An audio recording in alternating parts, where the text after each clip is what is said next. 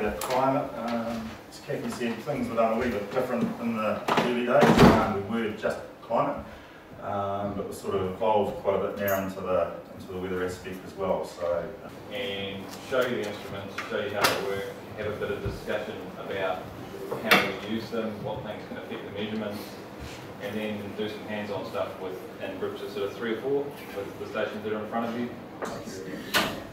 Video someone else. Because this is the piece being serial for benefit to,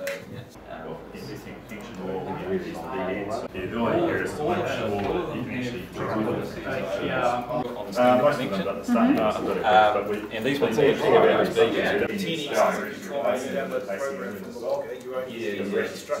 It could be where the cables are crooked. if Yeah, it has a single file. Here, um, you can disconnect those and do it. So, so I think these are um, Um, so you've got white, green and grey, so white and yellow is one side of the bridge, green and grey on the other side. So the ones we've still got to cover are wind, uh, solar radiation, precipitation, and other. Soil moisture percentage. So that's what it's expressed as, just a Inside it, there's a little activator. It's got the wiring on the outside. So this treats it horizontally and it weighs the water. So the output from this is not tipped.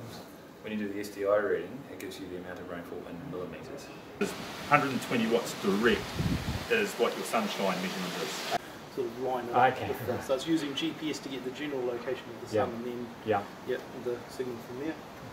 cool. Um, the LI-CORs are uh, micro amp output. So, So it's on, at it's part on uh, is- that's- trigger that's not the midpoint, hertz so DC Uh, it's on a spring load. in green.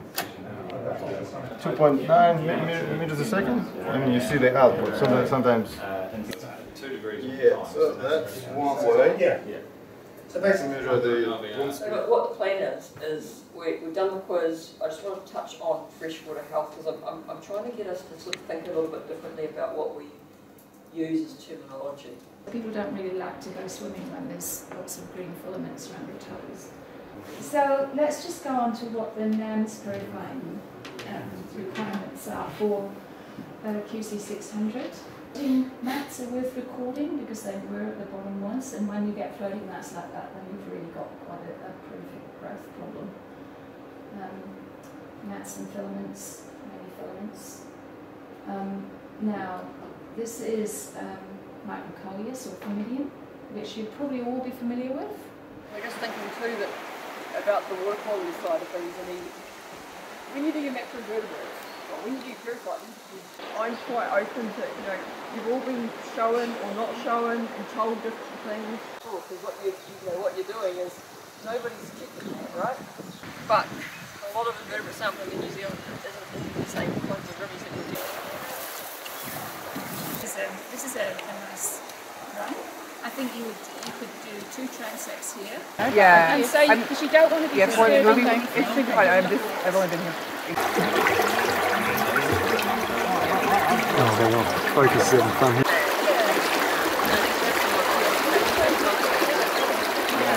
Uh, green film.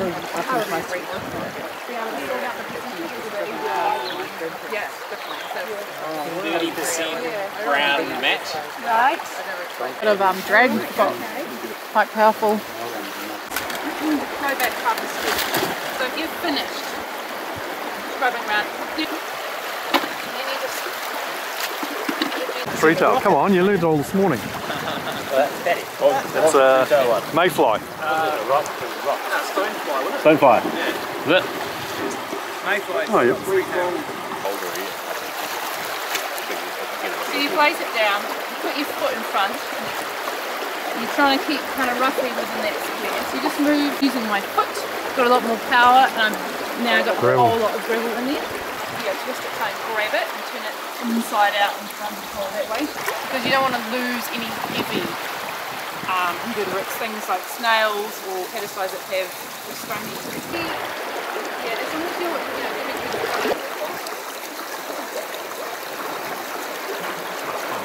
but once you've got the piece of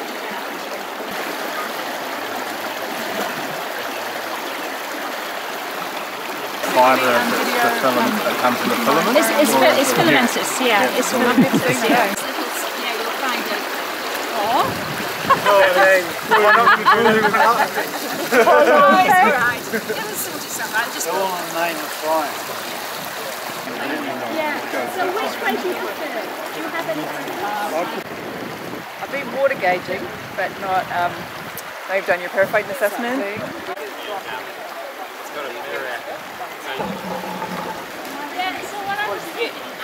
4.4 metres. So just imagine you put all the little bits of green up and pop them into that. Yeah, that makes sense.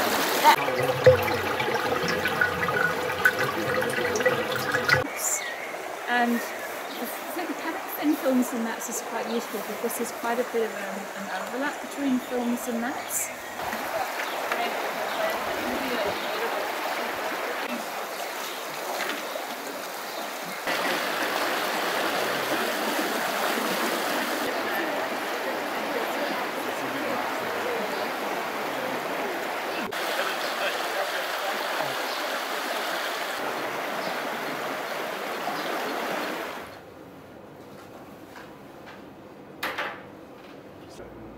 Well as leaning down downstream, you've got um, you've got a bow wave here, which is virtually always there unless the river's low. So it's hard to read. Plus, you see the, the levels here one metre. We've got zero metres here, so it's negative. Here's a, this is a compound control, so we've got low flow over here, going through a tiny wee notch when it's low. So as you probably know, in an ideal world, the average velocity is at 0.6 down or 0.4 up from the bed. Obviously, you want to get rid of all these spikes, so you can put in a series of points. So you've got options to climb an earlier rate, or just use the fit curve function or get Uh, I guess we're close to point zero. higher, so the next one up. Um, Yeah. So, because this is what we're 70, 80, 90, 100 years, so that's about 70. The, the big kids, and we've got this point now. Okay, so fine sediment. Um, we know that the, this is the photo from the Oreti River. I said about the particle size, you know, uh, with increase on the particle size, turbidity cannot respond very well. Uh, so another instrument is the laser diffraction, which Solomon Islands uh, station from memory, one of the um, uh, water supply state uh, projects over there. That they're complex systems that we put together, but I'll Talk a bit about some of the stuff we do with drones here at NIWA. So why might you want to use drones in general? That is that we basically have two drones flying together, and one flies upstream. uh, do a bit of a presentation on uh, some of the findings we've been getting. You can see we've improved, improved from 79, 82 across all the teams. And in comparison with the US, who use the same system. Red is more than 1.5%, which is what our target is. So all the SOPs are sitting in those two locations now. That's the list of them. And then we've got the two other main topics here, which climate, I don't think we've put much in yet, but Sam's going to be working on there. And hydrology, we're starting, I'm starting to fill it up with different things as well. So Brilliant. Right at the moment, we only actually formally have sort of endorsed from our quality system perspective the water level and the, and the open channel, which is the gaugings. So yes, Jerome, it's a work management tool and a issue tracking system. And the nice thing is it's linked in SIM, so Now that we've got Aquarius, we've got some capability to do this twice. So if you're looking at it from the outside, you kind of go, why have we got Sims? okay, here we go. In a perfect world, it would be simple. You just go one way. It's got a original in it. The newer ones, it's a, it's a bit confusing because it doesn't say longer or data longer, but they only work one way.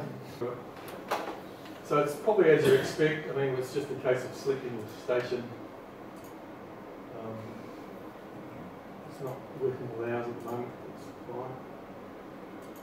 And just filling in, as you can probably imagine, most of it's field and add it in. So you add all those in. I won't go through it just to save time. So survey 123 is quite common for all sorts of survey forms. Uh, the councils are using this quite a little bit and have shared some with us. So we've got two two test uh, forms in here at the moment. This one we've been testing, which is uh, the biannual inspection, or BASIS as you call it